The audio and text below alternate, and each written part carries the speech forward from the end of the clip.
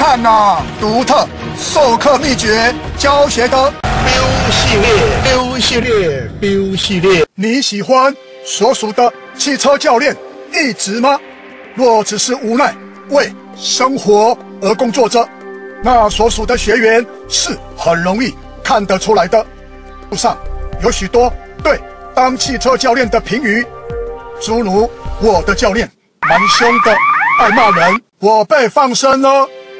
女生在 S 型被骂到崩溃，再也不来上课了。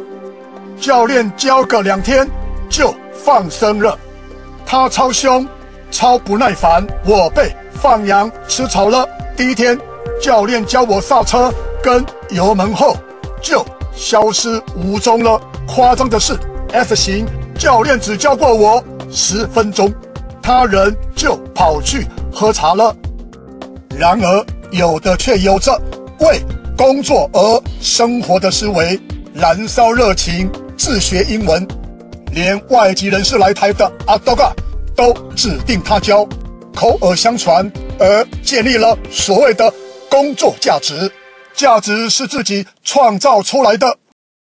有的靠着技术起家，取得国家专利双方向盘驾驶互动装置教学，强调可以直接。复制教练手感，而让学员快速上手，开车上路。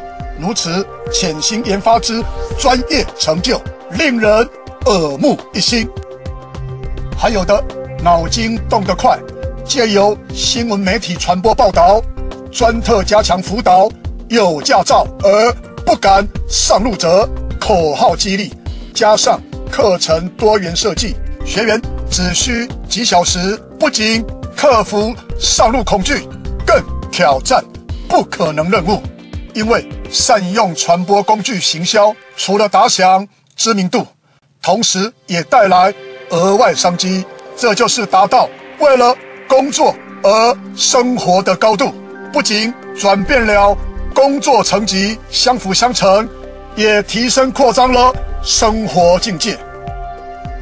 六年前这段指定教练的讲解对话，李教练意识到网络时代来临之后，所有行业都要重新开机。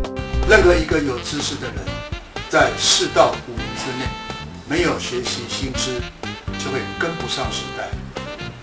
创新并非代表着标新立异，而是一种的自我成长。并且随着时代的脉动在前进，你知道吗？